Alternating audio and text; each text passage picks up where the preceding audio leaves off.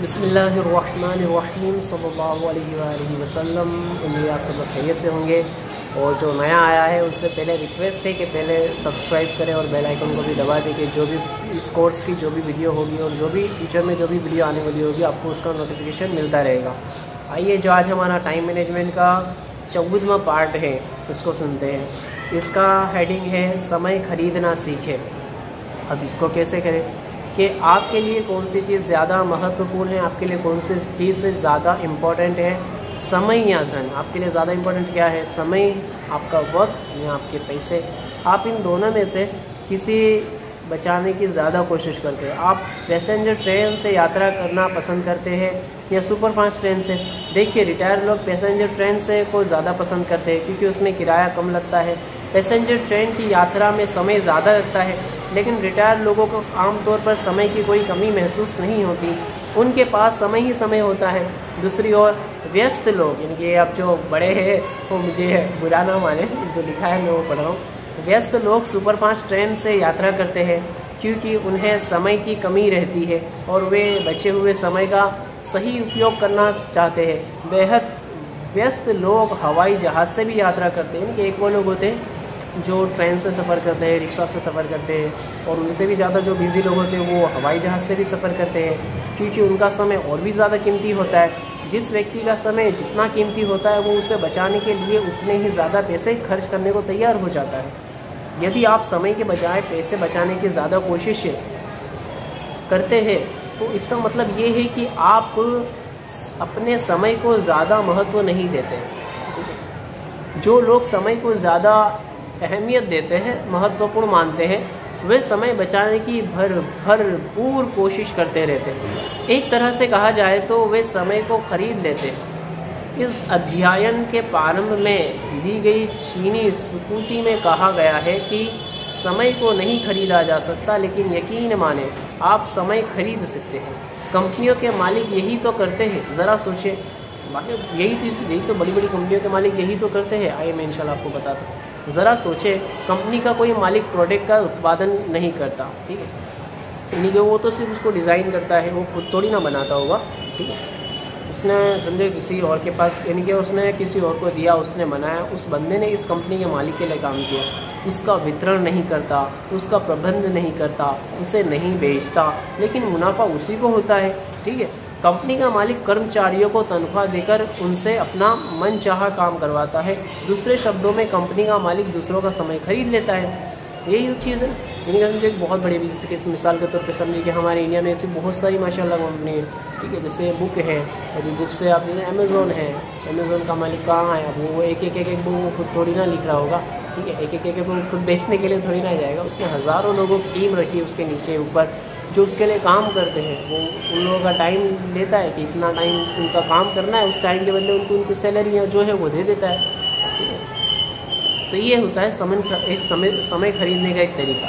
यदि आप समय बचाना चाहते हैं तो आप भी समय को सर्वश्रेष्ठ उपयोग के इस चौबुद में सिद्धांत यानी कि जो हमारा चौबुद में फॉर्मूला है, इसका पालन करें, इस पर अमल करें, समय खरीदना सीखें। देखिए, खंड एक में आप ये पता लगा चुके हैं हमारे फ़र्स्ट पार्ट में पता लगा चुके हैं कि आपके एक खंड का मूल्य कितना है। यानी कि हमने पहले बताया था कि जिसकी सैलरी बीस हज़ार है, जो रोज़ाना आठ घंटे, जैसे मैंने शायद पहले या दूसरे पार्ट में शायद बताया था कि जिसकी सैलरी बीस हज़ार रुपये है महीने की मिसाल के तौर पर। और अगर वो रोज़ाना आठ घंटे काम करता है तो एक घंटे का उसको सौ रुपये मिल रहा है। और अगर वो एक घंटे का, एक घंटा अपना बर्बाद कर रहा है रोज़ाना, या एक घंटे से ज़्यादा बर्बाद कर रहा है तो उसको रोज़ाना इतना नुकसान हो रहा है। हर महीने कितना नुकसान हो रहा है और हर साल कितना नुकसान हो रहा है। वो सारी चीज़ें मैंने पिछले पार्ट में बताया है। पहले आप दूसरे पार्ट में आप उसमें देख सकते हैं रिटर्न जाके।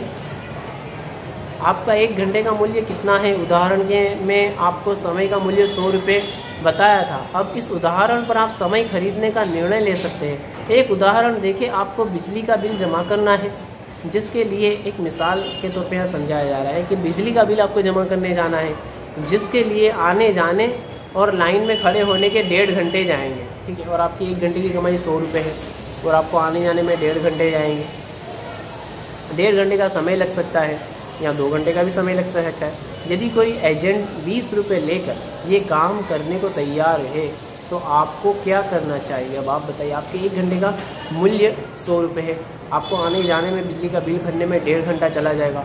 आप, आपका एक घंटे का मुझे सौ रुपये, आपको डेढ़ घंटा जाएगा तो आपके डेढ़ सौ रुपये का नुकसान हो जाएगा। अब इसकी जगह आपको कोई एजेंट मिला या फिर आपके इलाके में, आपके एरिया में कोई शॉप है मोबाइल वाला है मनी ट्रांसफ़र वाला है, या कोई स्मार्ट ऐसा लड़का है जो ट्रांसफ़र इस तरीके से कर सकता है तो वो बीस तीस रुपये या पचास रुपये चार्जेस ले रहा है, बीस रुपये चार्जेस ले रहा है, जिसमें इसमें लिखा है बीस रुपये चार्जेस ले रहा है तो बेहतर है कि आप उसको देख के अपना डेढ़ घंटे या डेढ़ सौ रुपये बचा सकते हैं। अगर आप उसको डेढ़ सौ रुपये मतलब बीस रुपये इसको दे दोगे तो भी आपके एक सौ तीस रुपये बच जाएँगे। आपके लिए डेढ़ घंटे का मूल्य एक सौ पचास रुपये है। इसलिए अगर कोई वो काम, यानी कि जो आपका बिजली भरने का काम था, जो आपका डेढ़ घंटे में हो सकता था, ये बीस रुपये लेके दस मिनट में कर रहा है, पाँच मिनट में कर रहा है तो बीस रुपये में करने को तैयार है तो आपको खुशी खुशी हाँ कर देना चाहिए। क्यों? क्योंकि आपके डेढ़ घंटे के आप जाओगे, आओगे तो उसमें आपका एक सौ पचास रुपये का नुकसान होगा।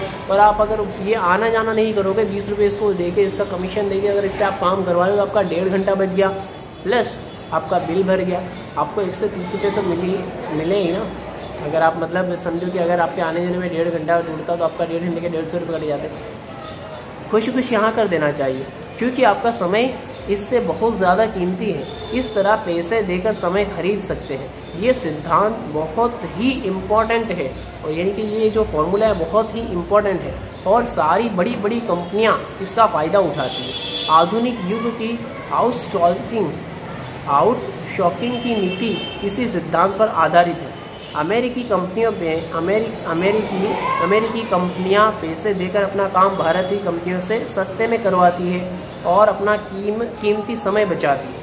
ये डेड ये डेडलिंग यानी कि डेडलीगेटिंग का काम सौंपने से अलग बात है। डेलीगेटिंग डेलीगेटिंग में आप समय बचाने के लिए कम महत्वपूर्ण काम अपने अधिक स्थानों को सौंपते हैं। यानी कि आप किसी और को सौंपते हैं, जबकि समय खरीदते समय आप वो काम, महत्वपूर्ण काम बाहरी लोगों से करवाते हैं।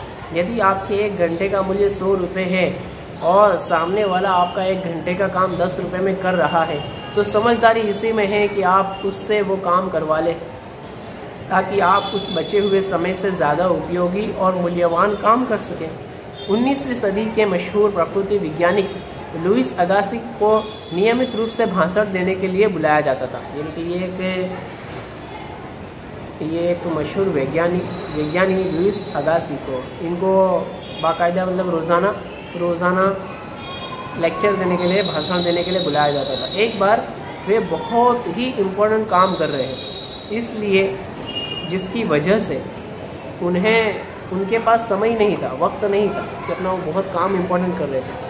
जब एक आयोजक ने, यानी कि किसी ने कोई ऑर्गेनाइज मतलब किसी ने कोई फ़ंक्शन ऑर्गेनाइज किया था, किसी ने कोई सेमिनार ऑर्गेनाइज किया था, उसमें उन्हें भाषण देने के लिए लेक्चर देने के लिए इन्विटेशन इनवाइट किया तो उन्होंने इनकार कर दिया। आयोजक ने इनके, जिसने उस फ़ंक्शन को ऑर्गेनाइज किया था, उसने ज़ोर देते हुए कहा कि भाषण के बदले में वो उन्हें पैसे दे देगा। ये सुनकर आगासी आग बबूला हो गए। यानी वो जो वैज्ञानिक थे, वो गुस्सा हो गए और बोले, पैसे का लालच मुझे नहीं दिगा डिगा सकता। मैं पैसे कमाने के लिए अपना समय बर्बाद नहीं कर सकता। यही चीज़ समझने वाली है। आत्मनिर्भर लोगों को समय खरीदने में बड़ी दिक्कत आती कि क्योंकि वे हर काम खुद करना चाहते हैं। कंजूस लोगों को भी इससे समस्या होती है। वे पैसे बचाने के चक्कर में खुद ही छोटे छोटे काम करना चाहते हैं। भले ही इस चक्कर में उन्हें बड़े और ज़्यादा इम्पोर्टेंट काम ना हो पाए, इसका एक रोचक उदाहरण देखें। इनके बहुत ही लतीफ़ा समझे, उर्दू में बोले तो लतीफ़ा, हिंदी में उदाहरण एग्ज़ाम्पल मिसाल जो आप समझ लें। क्या आपने कभी सोचा है, साड़ी की दुकान पर, अब शायद किसी लेडीज़ को बुरा लगे तो माफ़ी चाहता हूँ, लेकिन यहाँ एक मिसाल के तौर पर यही समझाया गया था, मैं आपको वही बता रहा हूँ। क्या आप कभी सोचा है कि साड़ी की दुकान पर पुरुष मोल भाव क्यों नहीं करते ज़्यादा? और महिलाएँ घंटों तक मोल भाव क्यों करती है? वैसे तो इसके कई कारण हैं, लेकिन इसका प्रमुख कारण है समय। उमूमन पुरुषों के पास समय की कमी होती है, जबकि महिलाएँ तुलनात्मक रूप से फुर्सत में होती हैं। शायद किसी को बुरा भी लग रहा होगा, गुस्सा भी आ रहा होगा तो सॉरी लेकिन क्या कर सकते हैं? एक बार फिर वही हिसाब लगा ले। अगर आप एक घंटे के मूल्य सौ रुपये है और एक घंटे के मोल भाव के बाद आप दुकानदार से बीस रुपये कम करवाने में कामयाब हो जाते हैं तो आप दरअसल घाटे में रहते हैं। वास्तव में आपका बीस रुपये का फ़ायदा नहीं हुआ, बल्कि अस्सी रुपये का नुकसान हो गया। तो ये मिसाल के तौर पर समझाया गया यहाँ पे। ऐसी बहुत सारी ऐसी चीज़ें होती हैं जो आप अपने माइंड से भी समझ सकते हैं। तो यही कि अपने वक्त की समझने की कोशिश करें और अपने वक्त को ख़रीद कर मतलब किसी और के वक्त को खरीद कर अपने काम को और आसान बनाने की कोशिश करें। और काफ़ी सारे दुकान वाले भी इस काम को अच्छी तरीके से कर सकते हैं। इनके काफ़ी सारे इतने फ़ेमस लोग होते हैं, जिनकी दुकानें छोटी छोटी होती है, लेकिन बहुत ही फ़ेमस होती है।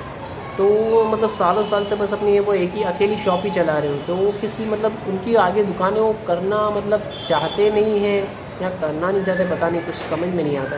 लेकिन ऐसे लोगों को चाहिए कि वो अपनी अलग अलग क्या बोलते हैं ब्रांचेस खोलना शुरू करें। किसी और को अपने स्टाफ में रखे, किसी को, किसी के हैंड मतलब काम वो सौंपे, उसको उसके काम की पगार दे दे, या फिर उसका जो हो कमीशन वगैरह, उस टाइप का उसको कुछ दे के करवाने की कोशिश करें। इससे आपका बिज़नेस बढ़ेगा। अगर आप उसको अगर आपने शॉप शुरू की और आपको अगर समझोगे आप उसको ट्वेंटी परसेंट या थर्टी परसेंट भी दोगे तो आपको सेवेंटी परसेंट तो मिलेगा। फ़ायदा हर तरीके से आपका ही है। स्टार्टिंग करें, इंशाल्लाह आपको कामयाबी मिलेगी। फ्रेंचाइजी और इस तरीके छोटे बिज़नेस को बड़ा कैसे चाहे तो बहुत सारे यूट्यूबर करते ही हैं। तो फिर भी मैं इन वक्त मिला तो इसके ऊपर भी काफ़ी बनने की कोशिश करूँगा। तो उम्मीद करता हूँ आज आपको अच्छा लगा होगा। सारी वीडियो माशाल्लाह। काफ़ी दिनों के बाद मतलब पूरा हफ़्ता काम बहुत ज़्यादा था, कभी सही थे उसके रिकॉर्ड भी काफ़ी सारी, मैंने रिकॉर्ड तो कर लिए थी तकरीबन तो पूरे हफ़्ते की रिकॉर्ड कर ली थी, लेकिन किसी रीज़न की वजह से सब डिलीट करनी पड़ी, थोड़ी प्रॉब्लम हो गई थी, सही आवाज़ वगैरह नहीं आ रही थी इसलिए। तो उम्मीद करता हूँ कि आप आपको अच्छा लग रहा होगा, समझ रहे होंगे मेरी सिचुएशन को। तो अभी जो भी नए आए हैं, उनसे रिक्वेस्ट है चैनल को सब्सक्राइब करें और ज़्यादा से ज़्यादा शेयर करने की कोशिश करें लाइक करें कंफ्यूजन में व्हाट्सअप करें कमेंट करें।